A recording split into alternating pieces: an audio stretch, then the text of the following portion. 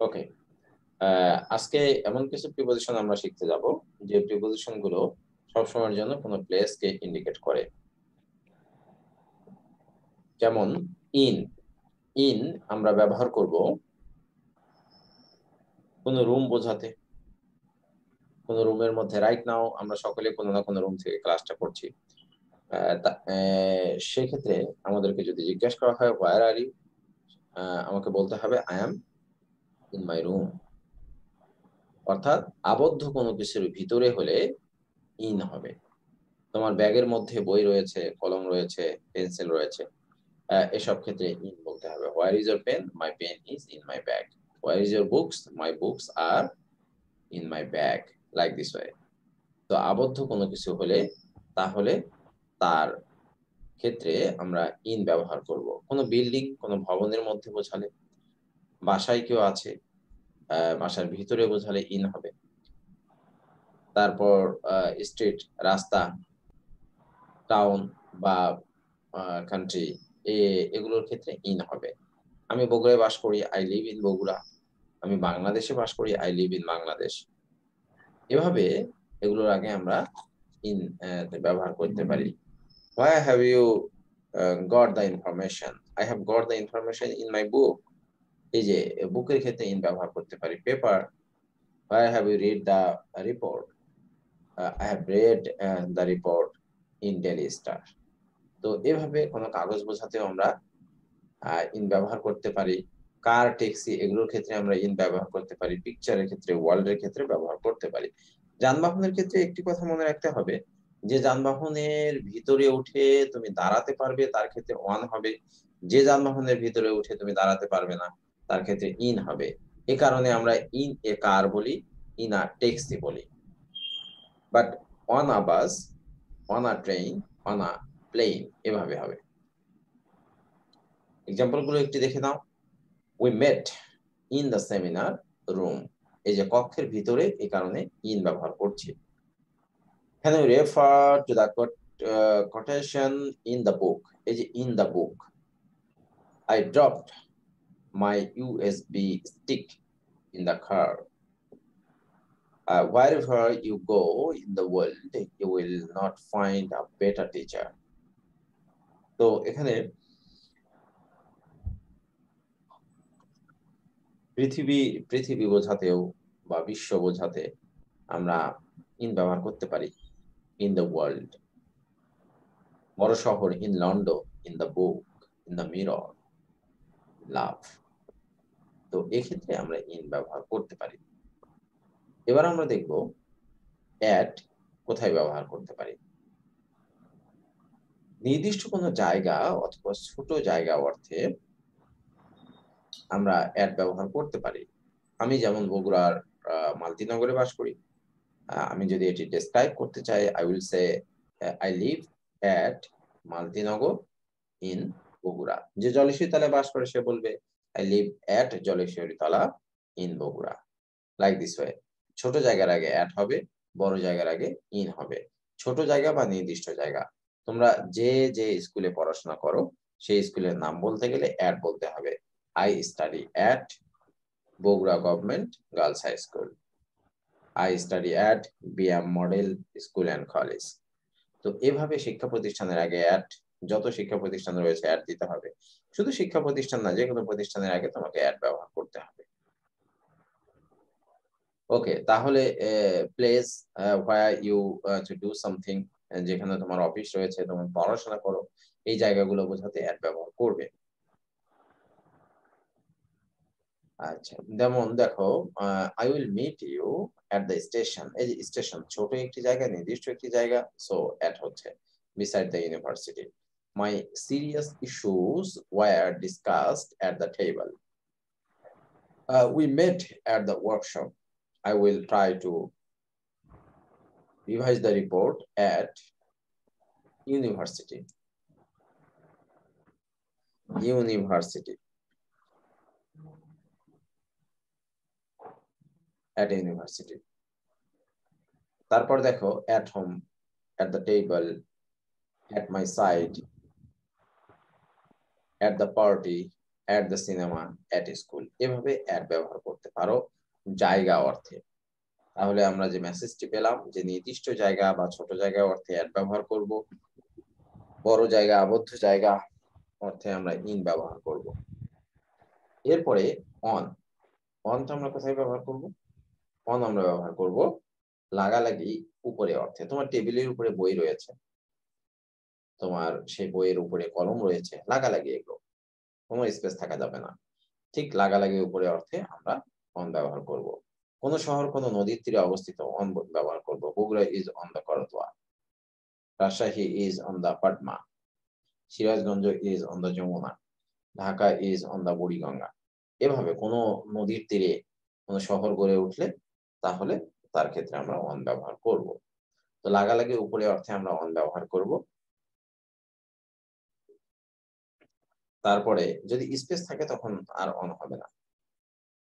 তো দেখো যে for a place with a river এই যে নদী অর্থে যেটি বললাম being on a surface for a certain side নির্দিষ্ট কোনো জায়গা on a floor in a house কোনো বাসার মেঝের উপরে কিছু আছে অন পাবলিক ট্রান্সপোর্ট তারপরে পাবলিক ট্রান্সপোর্ট যেগুলো, যেগুলোতে মানুষ আসা যাওয়া করে পাবলিক ট্রান্সপোর্ট দ্যাট মিনস এটা এভাবে চিন্তা করতে পারো যে যানবাহনগুলোর উপরে আমরা উঠে দাঁড়াতে পারি অথবা যে যানবাহনগুলো আমরা ভাড়ায় চলি, ভাড়া দিয়ে যেতে হয়, এগুলোর ক্ষেত্রে আমরা অন ব্যবহার করব। তারপরে ফর টেলিভিশন টেলিভিশনের জন্য রেডিওর জন্য অন ব্যবহার করতে হবে। এক্সাম্পলগুলো দেখে নিই। That is my painting you see on the wall লাগালাগি উপরে Hogwash Bend lies on the Murray River. I left my laptop on the table. লাগালাগি উপরে It would be a good idea to sit on the right, on the right side of the stand. I am on the bus. বাসে উঠে তুমি দাঁড়াতে পারো এছাড়াও বাসে আমাদের ভাড়া দিয়ে যেতে হয়, এটিও একটি point and will reach the campus in five minutes ভবিষ্যৎ সময়ের আগে তুমি বা ইন ব্যবহার করতে পারো। I saw your advertisement on the on television on the desk on the left side on leave he is on leave he is on duty এভাবে। সে ছুটিতে আছে, তাহলে অন লিভ ডিউটি করছে, তাহলে on duty fire the way. Uh, on the phone. এখানে মনে রাখতে হবে যে on the phone আর ওভার দ্য ফোন একটু পার্থক্য আছে। রাইট নাও তুমি কাউকে দেখছ সে ফোনে কারোর সঙ্গে বিজি আছে কারোর সঙ্গে কথা বলছে। কেউ যদি জিজ্ঞেস করে যে where is your sister she is on the phone where is a brother he is on the phone মানে ওই মুহূর্তে সে ফোনে কথা বলছে। আর যদি ব্যাপারটা এরকম হয় যে ওই মুহূর্তে কথা বলছে না বাট সে কোনো মেসেজ দিচ্ছে তোমাকে যে মেসেজটা ফোনে তাকে কেউ জানিয়েছে। সেই ক্ষেত্রে ওভার দা ফোন হবে ওভার দা মোবাইল হবে। আর যদি কোনো ডিটারমিনার না থাকে এই মোবাইল বা ফোনের আগে, তাহলে অবশ্যই বাই ইউজ করতে হবে। By mobile by telephone determiner থাকলে ডিটারমিনার বলতে আর্টিকেল ডি এখানে। তো আর্টিকেল ডি যদি থাকে বা অনেক সময় পসেসিভগুলো অন্যান্য যে অ্যাডজেক্টিভগুলো রয়েছে সেগুলোকে ডিটারমিনার হিসেবে ইউজ করা হয়। এখন তো এই ডিটারমিনার আলাদা ভার্সাল স্পেস হয়ে গেছে। যা হোক, যে নাউনের আগে কোনো অ্যাডজেক্টিভ যদি বসে আর্টিকেল দি বসতে পারে এ এমন বসতে পারে, বা অন্য যে ডিটারমিনারগুলো রয়েছে, সেগুলোও বসতে পারে। যদি দেখো যে এই টেলিফোন বা ফোনের আগে অন্য একটি ওয়ার্ড বসেছে, অবশ্যই তার আগে ওই মুহূর্তে যদি কথা বলতে থাকে তাহলে অন হবে এবং ওই মুহূর্তে কথা বলছে না, টেলিফোন বা মোবাইলের মাধ্যমে কোনো কিছু জেনেছে বা বলেছে, তাহলে সেই ক্ষেত্রে ওভার দেওয়া হবে। ওকে।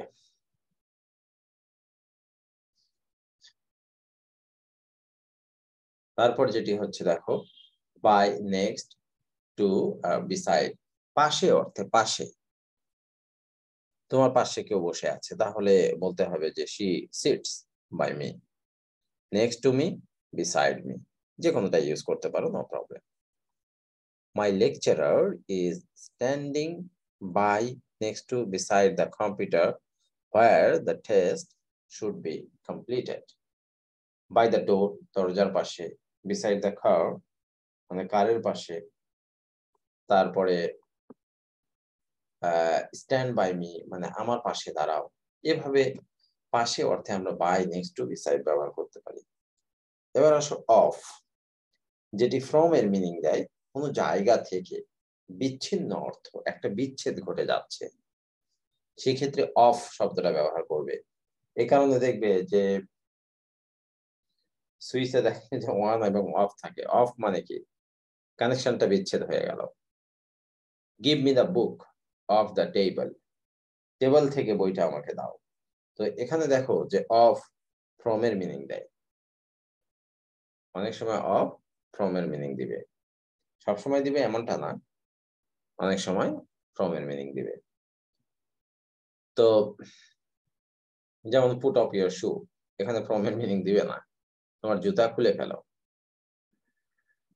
তো অফ অনেক ক্ষেত্রে ফ্রম এর মিনিং দেয়। যেমন অফ দ্য টেবল মানে টেবল থেকে অফ দ্য ওয়াল দেয়াল থেকে went off to the Canada went off চলে যাওয়া।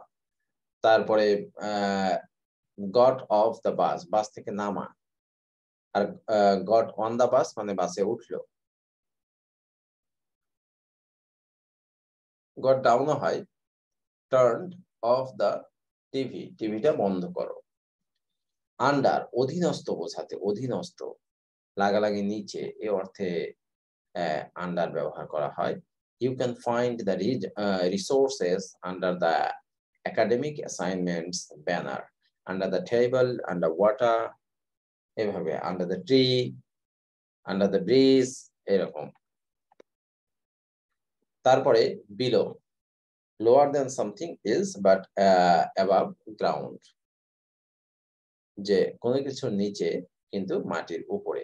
এই অর্থে আমরা বিলো ব্যবহার করতে পারি, যেমন বিলো দ্য সারফেস উপরে অংশে ঠিক আছে, নিচে below twenty below the clouds এভাবে বিলো টোয়েন্টি মানে হলো মার্ক বোঝাচ্ছ। কেউ পঞ্চাশের মধ্যে বিশের নিচে পেয়েছে, তিরিশের নিচে পেয়েছে, তাহলে বলতে হবে বিলো থার্টি বা বিলো টোয়েন্টি যে মার্ক পেয়েছে সে মার্কটা উল্লেখ করতে হবে। অ্যাবাব উপরে বোঝানো হচ্ছে, উপরে বোঝানো হচ্ছে কিন্তু স্পেস নাই। স্পেস আছে। যে জিনিসটিকে বোঝাতে চাচ্ছি সেই জিনিসটির গতি নাই, স্থির। যেমন there is a calendar above my table তো আমার টেবিলের উপরে একটি ক্যালেন্ডার রয়েছে। তো ক্যালেন্ডার তো আর মুভমেন্ট নাই। কিন্তু ফ্যান ফ্যানের মুভমেন্ট আছে। ফ্যানের ক্ষেত্রে ওভার ব্যবহার করবে। The fan is moving over my head আকাশের মুভমেন্ট নাই। তাহলে অ্যাবাভ দ্য স্কাই আর সূর্যের মুভমেন্ট রয়েছে। তারপর ঢেউ যে ইয়াগুলো আছে যেগুলো তোমার মেঘ মেঘের মুভমেন্ট আছে। তাহলে এই ক্ষেত্রে ওভার হবে। The, the sun shines over our head. The clouds are moving over our head এই যে এভাবে ওভার ব্যবহার করতে পারো, যে জিনিসটিকে তুমি বোঝাতে চাচ্ছ, অবশ্যই সেটির গতি থাকতে হবে। তো above the door the clouds above the problems cited above এভাবে। তবে ক্লাউডস এর ক্ষেত্রে অ্যাবাব না দিয়ে ওভার তোমরা দিও, ওটাই ভালো হয়। যেহেতু ক্লাউডের ইয়ে আছে, গতি আছে, আমি এই নিয়ম থেকে এটাকে সরিয়ে দিলাম। তোমরা ইয়া দিও ওভার দিও ক্লাউড বোঝালে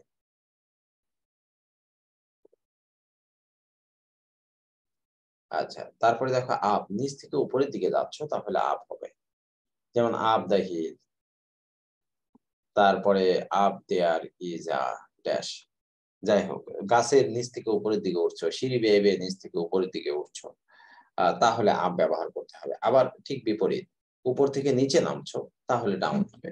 সিঁড়ি দিয়ে উপরে উঠছো আপ দ্য স্টেয়ার্স আর সিঁড়ি দিয়ে নিচে নামছো down the stairs up the tree মানে গাছের উপরে উঠছো climb climb up the tree আর গাছ থেকে নামছো ক্লাইম ডাউন দ্য ট্রি ঠিক আছে? এভাবে। তো এগুলো এতক্ষণ ধরে আলোচনা করলাম প্রিপোজিশন অফ প্লেস এবার আমরা দেখব প্রিপোজিশন অফ ডিরেকশনস অথবা মুভমেন্টস অ্যাক্রস অ্যাক্রস আড়াআড়ি ভাবে। মনে করো যে এখান থেকে শুরু করে এই পর্যন্ত। এটি হলো অ্যাক্রস আচ্ছা এই জিনিসগুলো আমরা আর একটি জায়গা থেকে একটু দেখে নিই। তাহলে তোমাদের জন্য সুবিধা হবে। দেখো, এটা, এই চিত্রটা একটু দেখো তাহলে। অনেকটা আইডিয়া ক্লিয়ার করবে।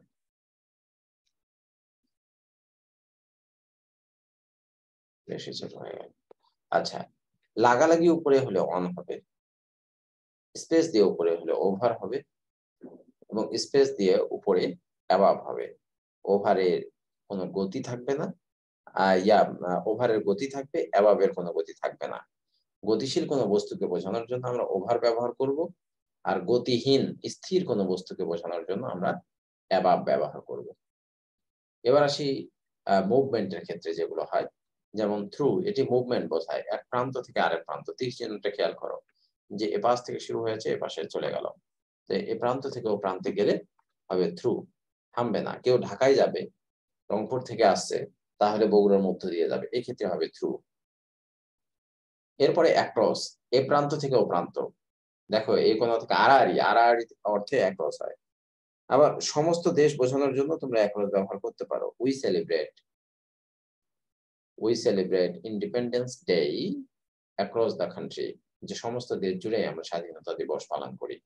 We celebrate Pohela Boishakh across the country সমস্ত দেশে আমরা পহেলা বৈশাখ পালন করি। এভাবে তোমরা অ্যাক্রস ব্যবহার করতে পারো। আর পাশে বোঝানোর জন্য বাই বিসাইড নিয়ার নেক্সট এটি ব্যবহার করতে পারো। কোনো কিছুর ভিতরে বোঝাতে ইন বা ইনসাইড ব্যবহার করতে পারো। আর নির্দিষ্ট জায়গা বোঝানোর জন্য যে কোনো একটা রুমের একটা কর্নার বোঝাতে চাচ্ছ, তাহলে অ্যাড হবে। বাহির থেকে ভিতরে প্রবেশের ক্ষেত্রে হবে ইনটু ভিতর থেকে যদি বের হয়ে আসো তাহলে আউট অফ তোমার, তুমি যে রুমে আছো সেই রুমে যদি কেউ হেঁটে হেঁটে এখন প্রবেশ করে, তাহলে হবে ইনটু আর তুমি রুম থেকে যখন বের হয়ে যাবে, তখন হবে আউট অফ নিচে অর্থে আমরা নেভার ব্যবহার করতে পারি আন্ডারনিথ ব্যবহার করতে পারি বেনিথ ব্যবহার করতে পারি। কোন দিকে কোন দিকে দিক বোঝাতে আমরা টু এবং টু ওয়ার্ডস ব্যবহার করতে পারি। এক্ষেত্রে একটু মনে রাখতে হবে টু টু এর পরে যে জায়গাটি থাকে, ওই ব্যক্তি ওই জায়গাতেই যাবে। হি গোজ টু স্কুল তার মানে সে স্কুলেই যাবে, অন্য কোথাও যাবে না। বাট যদি বলা হয় he goes towards school তার মানে সে স্কুলের দিকে যাচ্ছে, এর মানে এই নয় যে সে স্কুলে যাবে। সে যেতে পারে, নাও যেতে পারে। টু ওয়ার্ডস বললে সন্দেহ থাকে, ওই ব্যক্তি ওই জায়গায় যেতেও পারে, নাও যেতে পারে। আর টু বললে কোনো সন্দেহ নাই, অবশ্যই যাবে।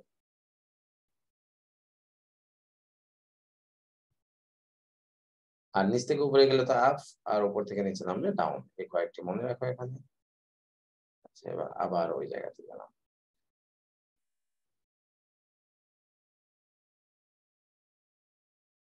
হ্যাঁ অ্যাক্রস তোমাদের ওখানে বললাম এবার এক্সাম্পল দেখো। দেখতে পাচ্ছ অনুরোধ একটু কথা বলো।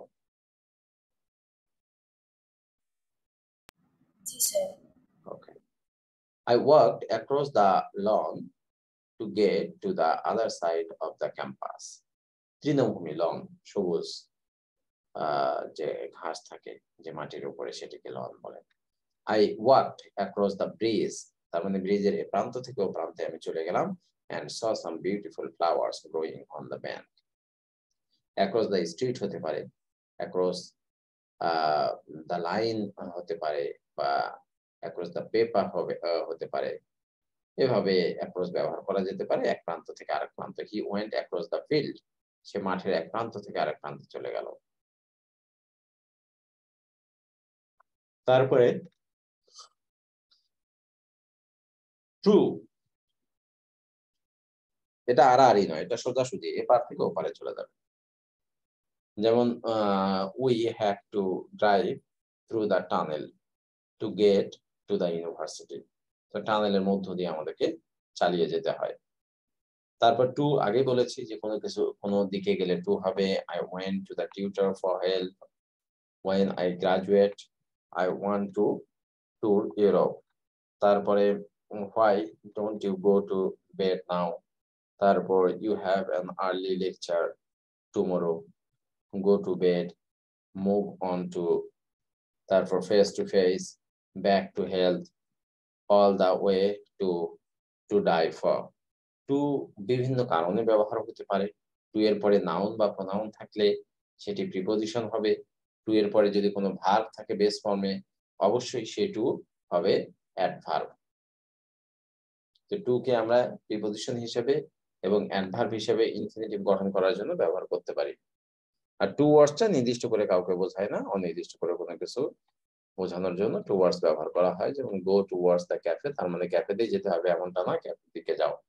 And you will see the library এবং তুমি লাইব্রেরিটা দেখবে।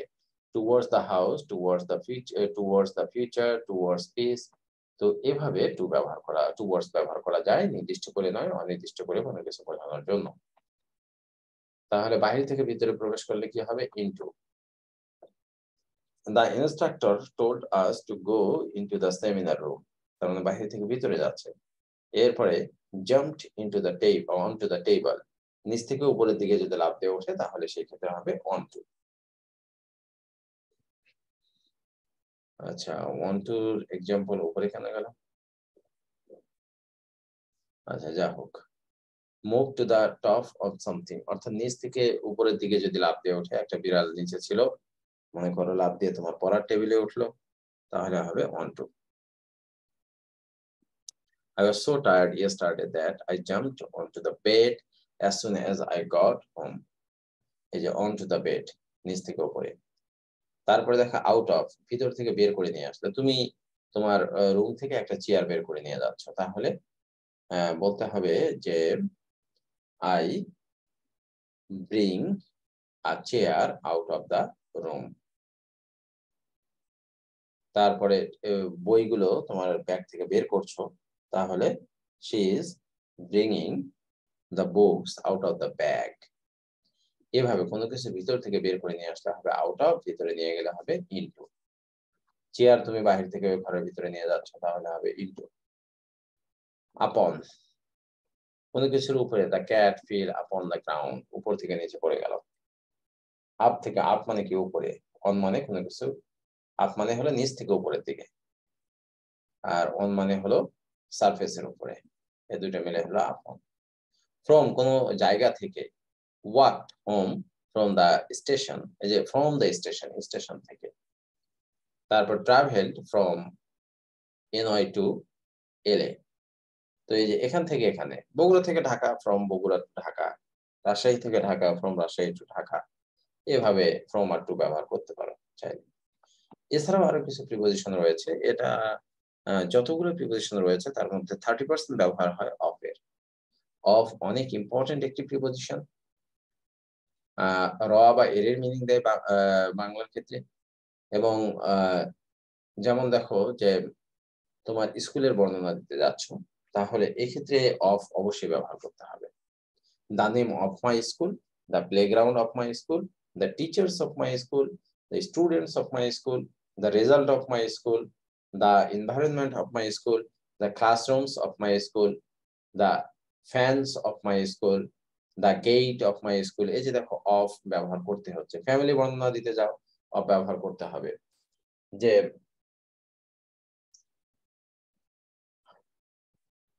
the uh, the name of my father the name of my sister the name of my uh, brother.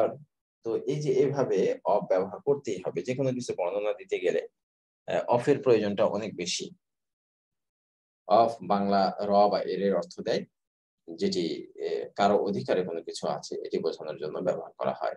যেমন মেন অফ দ্য নর্থ উত্তরের মানুষেরা cup of coffee the hand of God that friend of yours যে এভাবে of ব্যবহার করতে পারো। এবার আসি বাই। কোন বই কেউ লিখেছে, কারও নাম বোঝাতে বাই ব্যবহার করতে পারবা। যেমন a book by Mark Twain Mark টোয়াইনের একটি বই। তারপরে বাই মাইসেলফ আমার নিজের দ্বারা। Played by the rules killed by a bullet one by one they left by car by bus এভাবে। অ্যাবাউট প্রিপোজিশন হলে ভালো, কোনো কিছু সম্পর্কে বোঝাতে অ্যাবাউট ব্যবহার করা হয়। তবে অ্যাবাউট আবার অ্যাডভার্ব হিসেবে ব্যবহার করা হয়। যেমন দেখো অ্যাবাউট টেন পিপুল প্রায় দশজন মানুষ। তার মানে যে ব্যক্তি এই বর্ণনা দিচ্ছে he is not sure how many people were there যে কত মানুষ সেখানে ছিল। এই জন্য আন্দাজ করে বলছে যে অ্যাবাউট টেন পিপল এখানে অ্যাবাউট আসলে অ্যাডভার্ব প্রিপোজিশনের কাজ করছে না।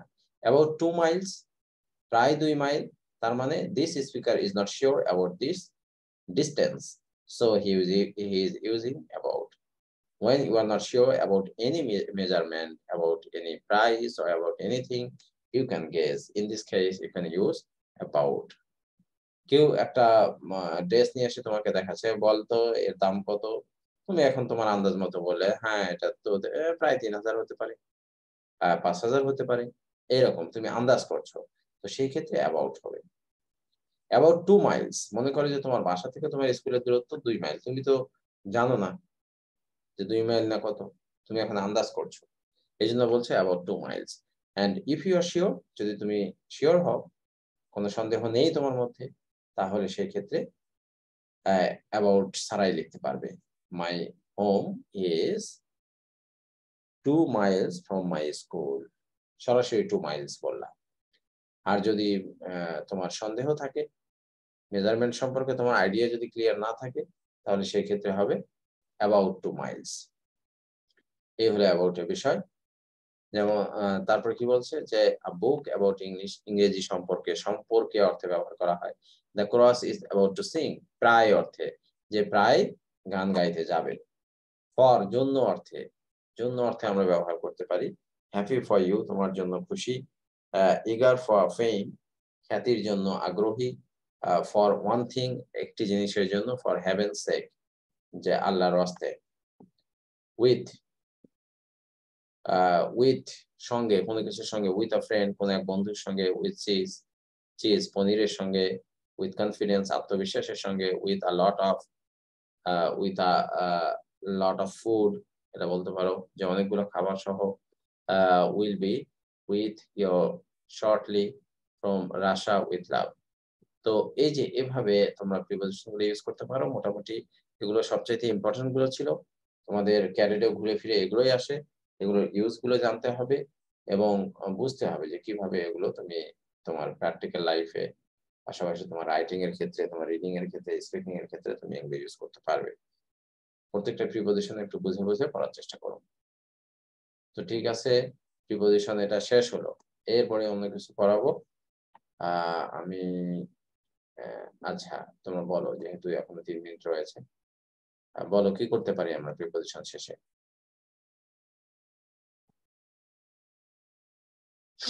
আর কোন আইটেমের সমস্যা রয়েছে? কি কি আছে? অদিয়া অদিয়া বলো। তোমরা আপিল করেছিলে প্রিপোজিশন প্রিপোজিশন আমি করে দিলাম। কথা বলো উর্মি। ডিটারমিনেটিভসকে আলাদা করে পড়ার দরকার আছে। কথা বুঝতে পারছি না অদিয়া তোমার। হেডফোন ইউজ করলে হেডফোন খুলে দাও অদিয়া তাহলে কথা শুনতে পাবো। ডিটারমাইনার কি আলাদা করে পড়ার দরকার আছে। কোনটা?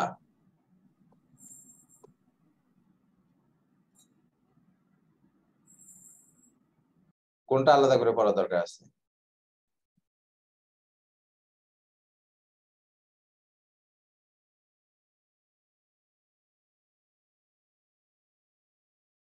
উর্মি কথা বলো তো দেখি উর্মির কথা কেমন স্পষ্ট হয়।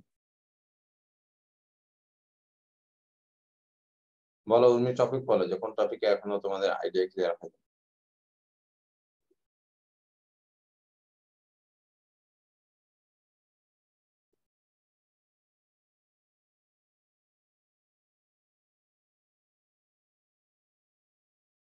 উর্মি শুনতে পাচ্ছ কথা? জি স্যার। বলো কি এখনও কি আছে? এই যে কথা বলেই দিবে মিউট সমস্যা কোথায় আছে বলো?